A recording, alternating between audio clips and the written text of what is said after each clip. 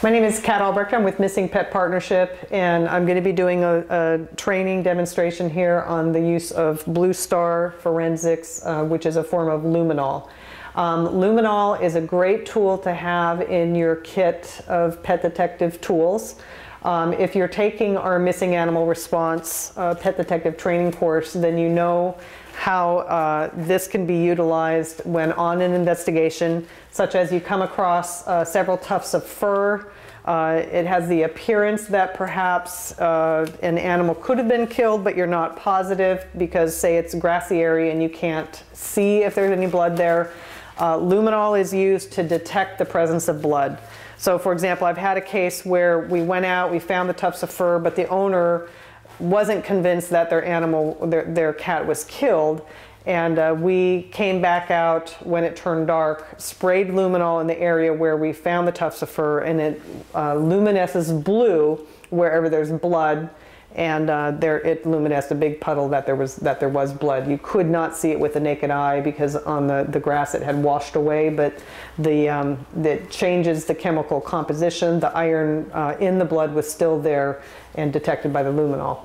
So what I'm going to do is show you the process of how to mix the luminol. Uh, later on a separate video, we'll show you uh, going out where we actually spray the luminol, uh, where it's dark and we have some blood that's, that's been spread on the ground.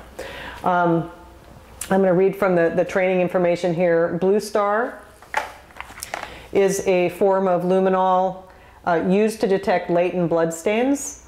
Um, it is three times brighter than traditional luminol. It's luminescent longer and is visible to the naked eye in semi-darkness. Once the blood stain has been located, the area can be sprayed again and again for further observation. Blue Star does not adversely affect DNA. Therefore, after a stain has been located, samples can be collected for further analysis. Um, when Blue Star is mixed with the catalyst, and there's a tablet of hydrogen peroxide, which is included in the foil pouch. So when you purchase the Blue Star, and we will have that, that information is in uh, your training course and your training manual for Missing Pet Partnership. Um, when you purchase it and, and, the box comes to you, this is pretty much how we carry it in our evidence kit at Missing Pet Partnership. But it has two different tablets. Again, one of them is a hydrogen, hydrogen peroxide tablet, and the other one is actually the, uh, the, the, luminol. Um, when you mix them, and we'll be doing that with some distilled water, um, and then put them, uh, and then they come in the spray, you spray it on the, the blood, and it comes in the contact of the nucleus of a blood hemoglobin uh, it oxidizes and emits an intense blue chemiluminescence that is visible in the dark. This product will not be visible in total sunlight, so you have to come back when it's dark in order uh, to utilize the luminol. We've uh, tried to, to do our training demonstration before when it was just starting to get dark, and then we, we tested it one time when there were street lamps there, and it, it's just not as visible as when it can be pitch dark. So it's best used during no light or low light conditions. This might mean you need to return to the scene of a suspected predation kill in order to process the area for potential blood stains.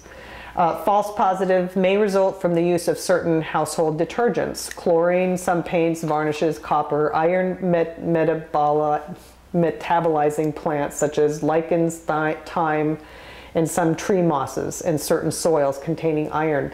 When we did a um, K9 pet detective boot camp back in 2005 and we were testing the luminol, we were spraying it on the ground. There was a lot of iron in the ground and when we would spray it you'd see these little sparkles of blue come up because it was not that there were sparkles or drops of blood, it was actually the iron in the soil that was reacting with the luminol. Blue Star will not destroy DNA. However, uh, the training formula, which we actually use here at Missing Pet Partnership for training purposes, this one here says criminal investigation. So this is not the training version. This is the actual um, more expensive uh, version of it.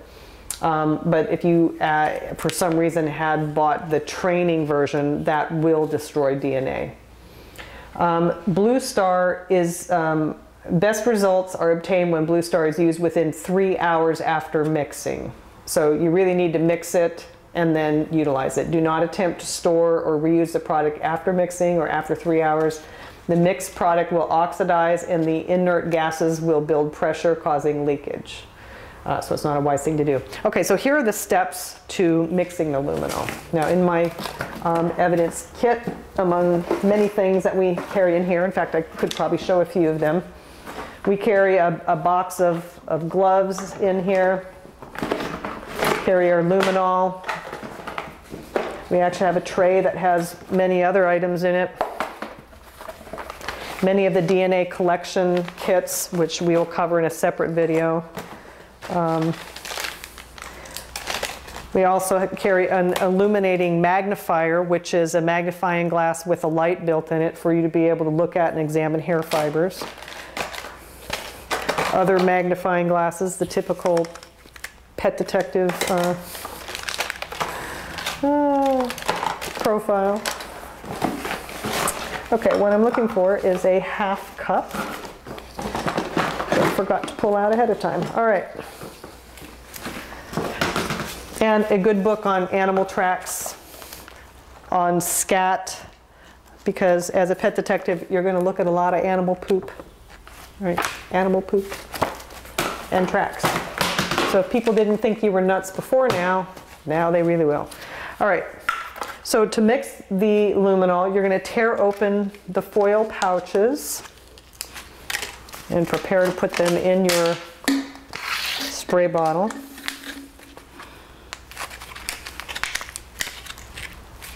Okay, having a um, second person to open those would be good.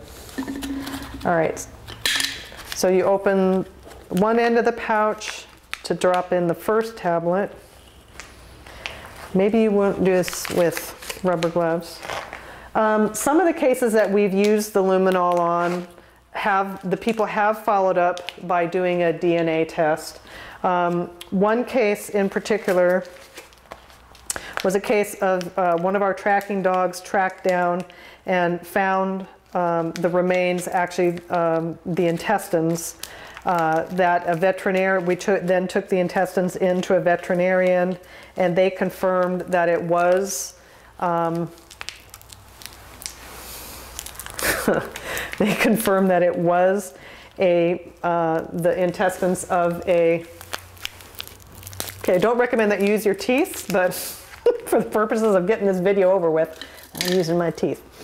Uh, they confirmed that the intestines were that of a, um, of, from conduce, uh, uh, the intestines belonged to a dog.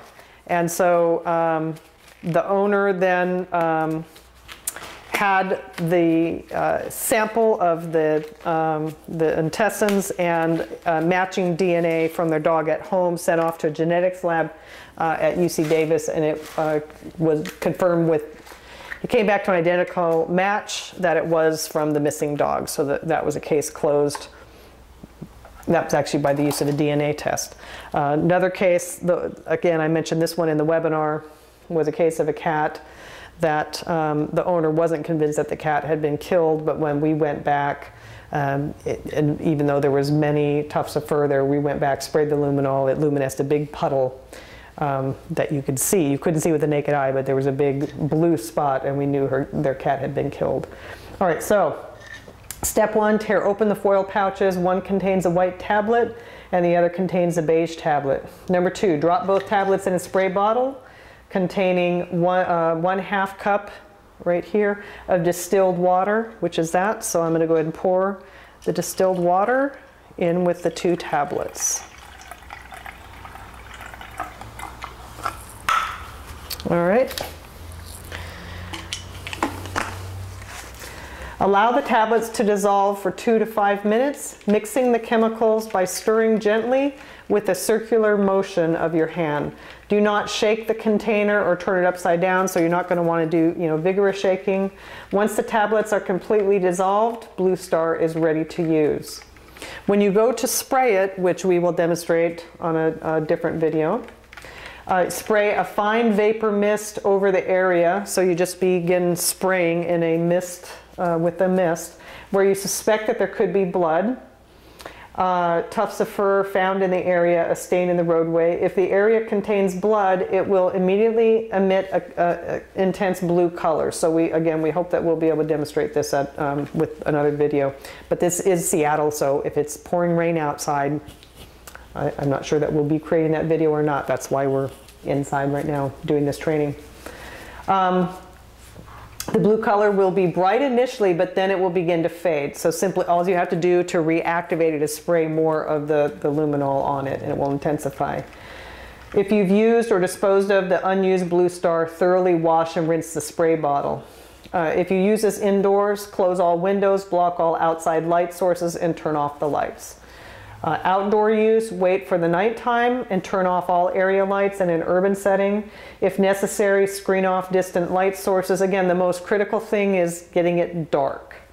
Um, warning, do not spray the bottle towards another person. Do not spray into the wind uh, because you might come into contact with human blood. Wear protective gloves. We're mainly dealing with animal blood, but you still want to wear protective clothing or protective gloves.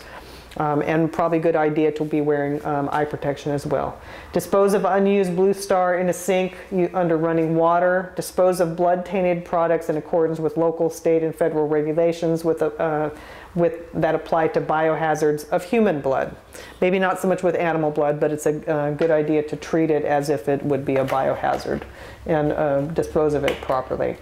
Um, so I'm going to be concluding um, this portion of of the luminol training because this is just showing you how to mix and prepare the luminol. The next video would then be us actually spraying and using the luminol when it gets dark. This still has more uh, that needs to dissolve. But what I kind of chuckled at a few moments ago as I was um, being frustrated and trying to open the pouch was as I was opening the pouch, I'm looking at this wall in front of me and guess what's on here? Blood. I mean, how appropriate and how interesting. This is how um, as a detective, as a pet detective, if you can move the camera over here, you want to start paying attention to um, and looking for things. You'll be amazed at the things that you can find. So as I'm, we just happen to have set up here, but what I'm seeing here is that likely somebody uh, cut themselves because I'm seeing drips here and here. And this here would be a blood spatter right here, the fact that it's moving downward like that. And so what we're going to do is I'm actually going to use some of our other testing tools to test a couple of these stains to see if this is in fact human blood. I suspect it would be human blood. I can't believe that there would be an animal that would have been in here that would have gotten injured. It may not be blood at all. It could be that these are, um, you know, some other chemical or something that's spilled. It's, they're dark, they almost look black, but blood doesn't, blood is not going to, that's the other point, blood is not going to be uh, bright red.